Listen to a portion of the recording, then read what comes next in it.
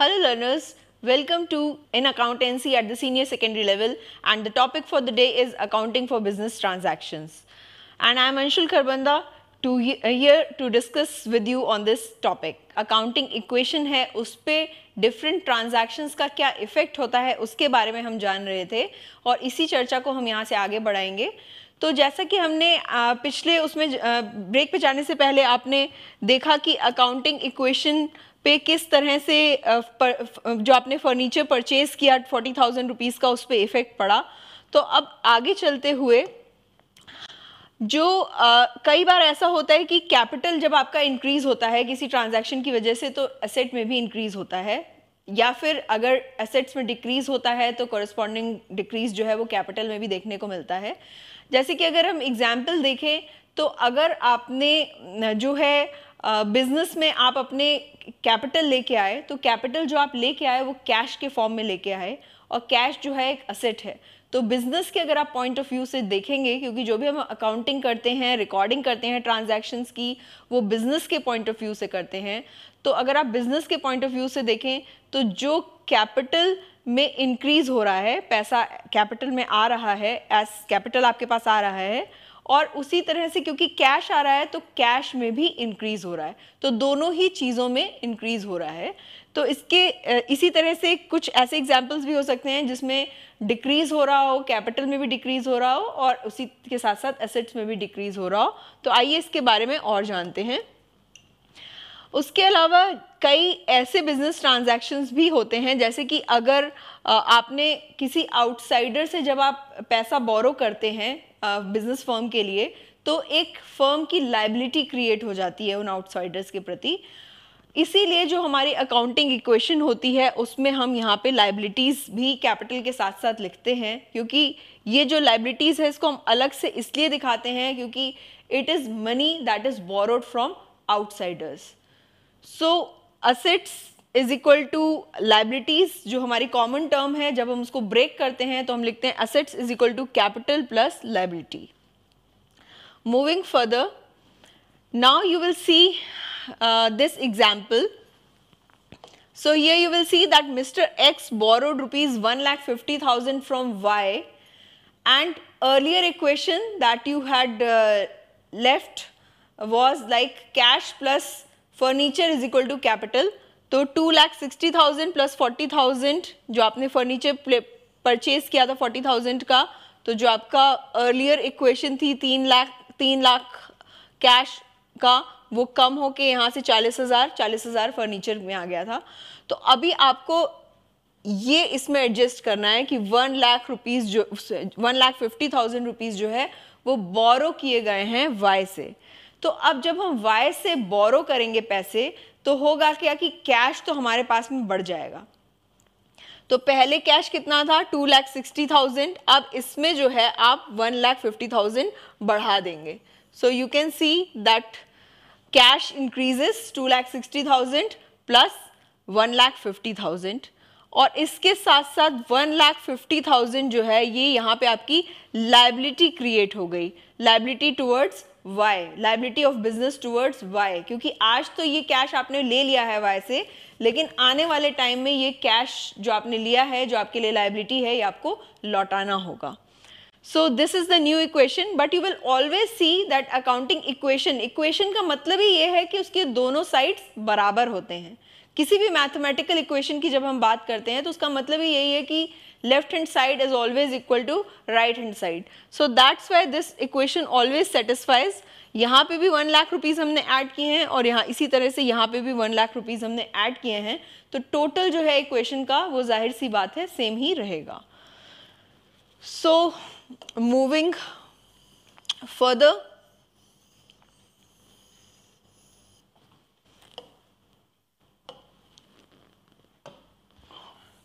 now what is the effect of expenses जब भी हम कुछ एक्सपेंस करते हैं बिज़नेस में तो उसका क्या इफ़ेक्ट होता है? जब भी भी हम एक्सपेंसेस के लिए पेमेंट करते हैं तो पेमेंट करने से क्या होता है? जो भी हमारे पास में कैश होता है, वो कैश कम हो जाता है।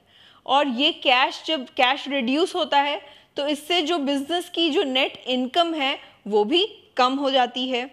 और इसीलिए इसका एज अ इफ़ेक्ट जो है It is deducted from the capital same way we have to also know about the effect of revenues. So when there is revenue that means we have received cash. So जब हम cash में receive करते हैं revenue को तो उससे क्या होता है कि रेवेन्यू किसी भी फॉर्म में हो सकता है हमारे पास रेंट आ सकता है या जो uh, कुछ और भी चीज़ें हैं इंश्योरेंस प्रीमियम है या डिस्काउंट कहीं से मिल रहा है तो इस तरह की जो चीज़ें हैं वो हमने रिसीव करी कैश में और इससे होता क्या है कि जो हमारा कैश है वो इंक्रीज़ हो जाता है और इंक्रीज होने की वजह से there is also an increase in the net income of business which is added to the capital hence it is added to the capital so now the accounting equation जो हमारी अकाउंटिंग इक्वेशन होती है, उसमें assets में आप revenue को add कर देते हैं, जो भी कैश आपके पास में आया है, और एक्सपेंसेस जो हैं, उसको माइनस कर देते हैं। इसी तरह से जो लाइबिलिटी साइड है, वहाँ पे भी जो आपका लाइबिलिटीज़ है प्लस कैपिटल है, क्योंकि this was already existing assets is equal to liabilities plus capital तो यहाँ, ये क्वेश्चन तो हमारी ऑलरेडी एग्जिस्ट करती है। तो हमने किया क्या है इसमें? जो रेवेन्यू आया है, वो दोनों साइड ऐड कर दिया है और जो एक्सपेंसेस हुए हैं, वो दोनों साइड से हमने सब्ट्रैक्ट कर दिए हैं।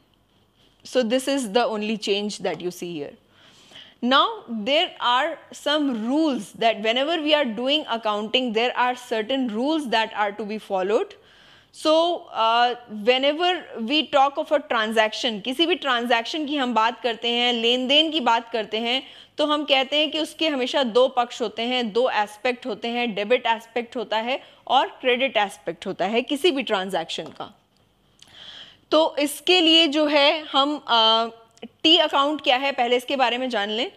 तो जो टी अकाउंट होता है, उसमें आप कोई भी अकाउंट बनाएँगे तो आप उसको टी अकाउंट के फॉर्म में बनाते हैं।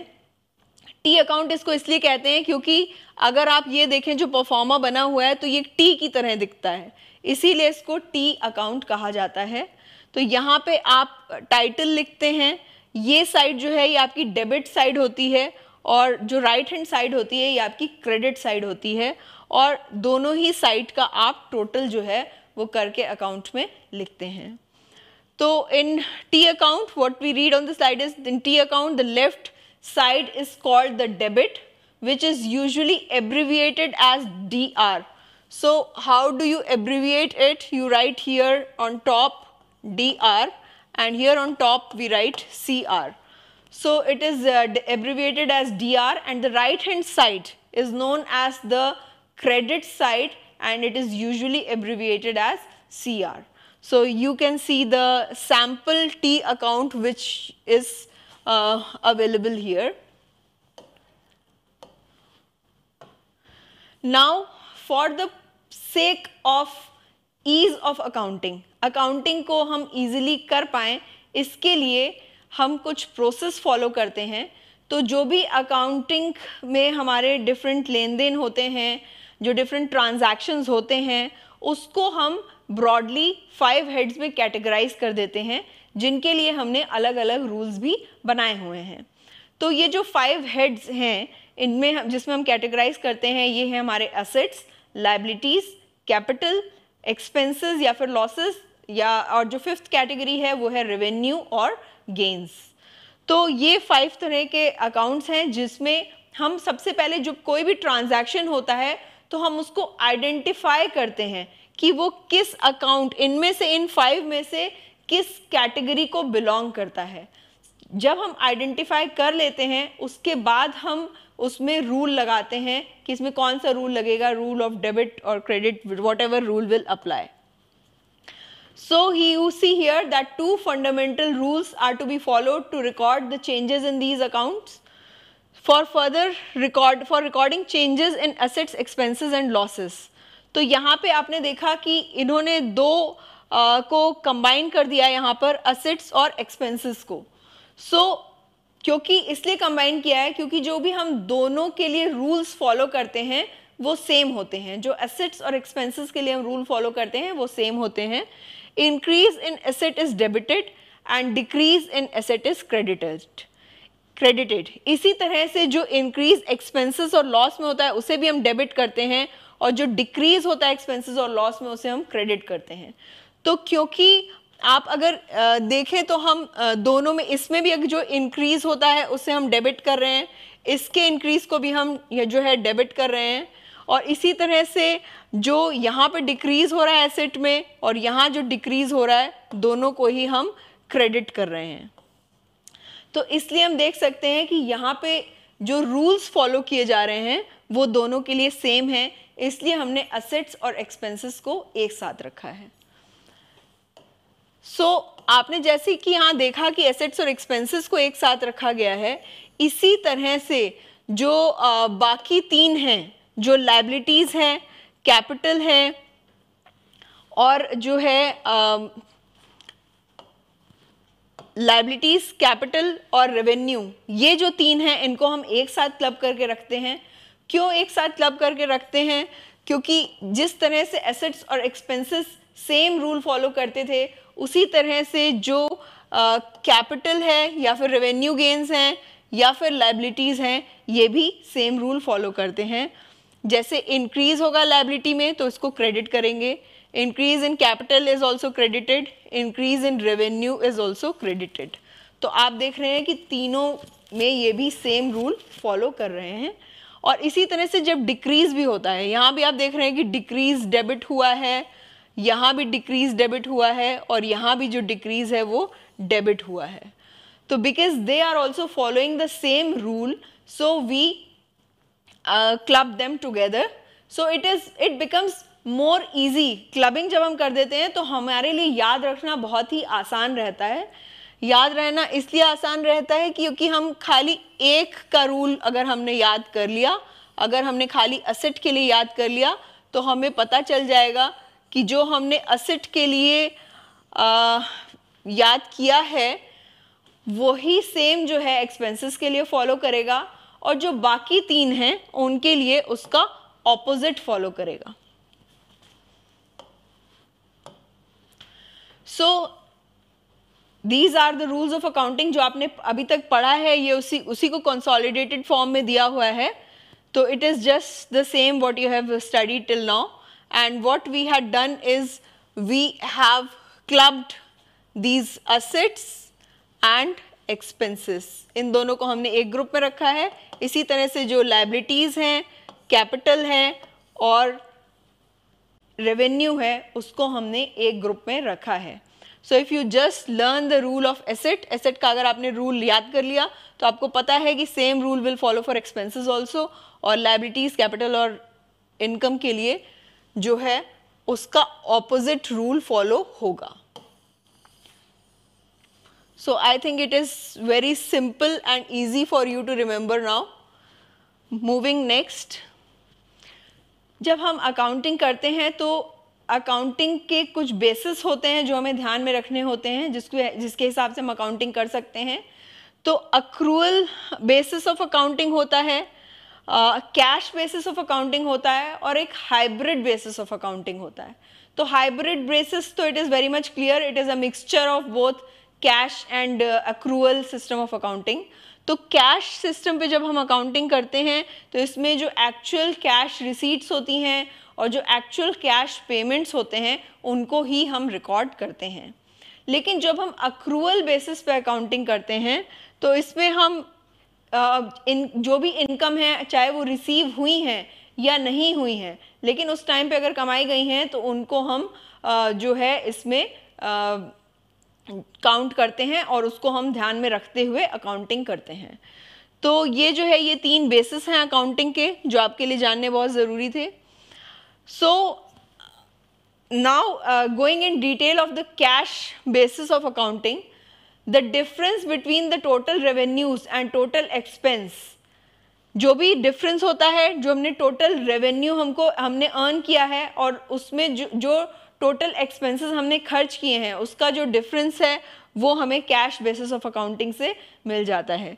जो भी आउटस्टैंडिंग और प्रीपेड एक्सपेंसेस होते हैं, और जो इनकम हमने एडवांस में रिसीव करी है, या जो अक्रूड इनकम है, जो मिलनी है, वो इसमें कंसिडर नहीं की जाती है। तो यानी कि हम इसमें कोई भी एडजस्टमेंट नहीं करते हैं जो भी आउटस्टैंडिंग और प्रीपेड एक्सपेंसेस हैं इनकम इनकम्स हैं जो रिसीव या तो एडवांस में हो गई हैं या अक्रूड इनकम है, उनको हम कंसिडर इसमें नहीं करते हैं तो अगर हम इन सबको कंसिडर करेंगे तो it is accrual basis of accounting जिसमें कि जो रेवेन्यू है एंड एक्सपेंसेस हैं they are also taken in to consideration for the purpose of determination of income on the basis of accounting period to which they relate.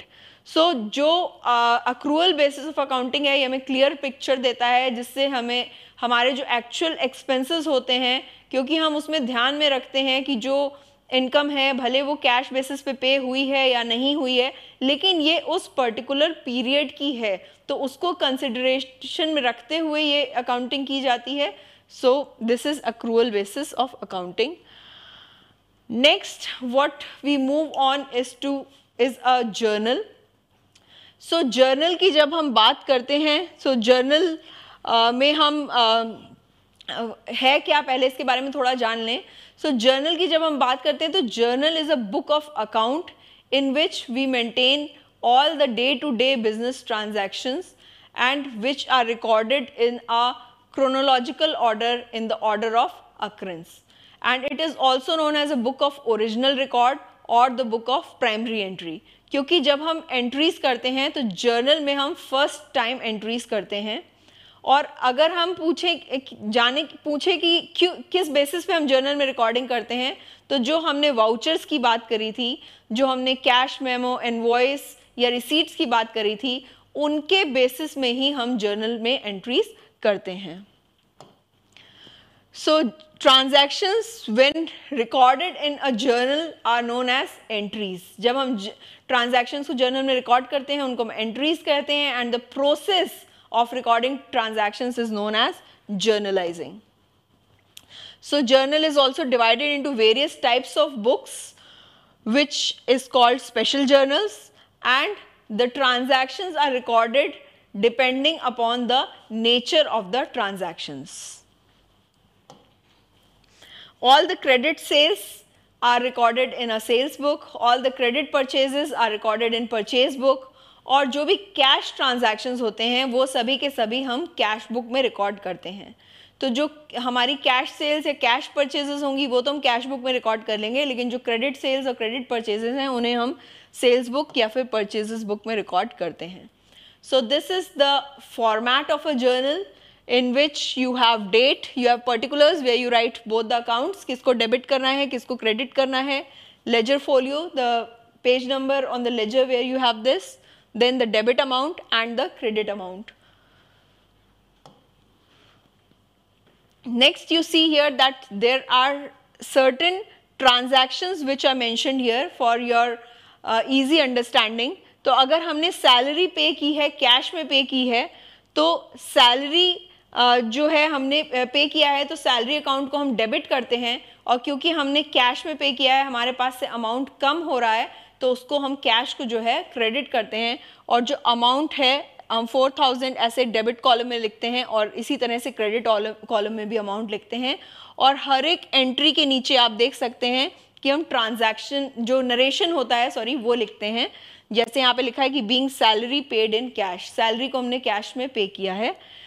उसी के बाद जो पूरा पेज जब हमारा कंप्लीट हो जाता है, जितनी भी जर्नल एंट्रीज हो, यहाँ पे खाली दो हैं, लेकिन जब पूरा जो जर्नल का पेज होता है, उसमें ज़्यादा होंगी तो लास्ट में हम टोटल कर देते हैं और इस बैलेंस को हम टोटल कैरेट फॉरवर्ड करके यहाँ पर मेंशन कर देते हैं। और नेक्स्ट पेज पे जब हम इसको कॉपी करेंगे तो ये बैलेंस ब्रॉड फॉरवर्ड करके कॉपी करते हैं और जो टोटल बैलेंस लास्ट पेज का होता है वो यहाँ पर आ जाता है।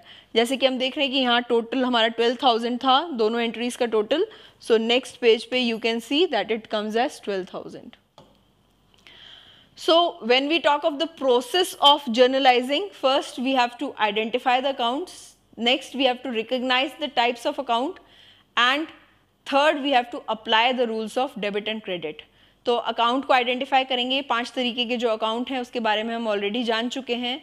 आप रिकग्नाइज करेंगे कि कौन से टाइप ऑफ़ अकाउंट है और उसके बाद आप रूल जो है डेबिट और क्रेडिट के जो हमने अभी अभी जाने हैं उसके उसको आप अप्लाई करेंगे।